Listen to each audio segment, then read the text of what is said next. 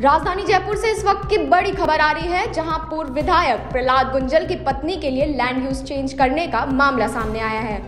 इस मामले में यूआईटी कोटा, राज्य सरकार और भू उपयोग परिवर्तन कमेटी ने हाई कोर्ट में जवाब भी पेश किए हैं। आपको बता दें कि सीजे इंद्रजीत महांती की खंडपीठ 22 फरवरी को इस मामले की सुनवाई करेगी।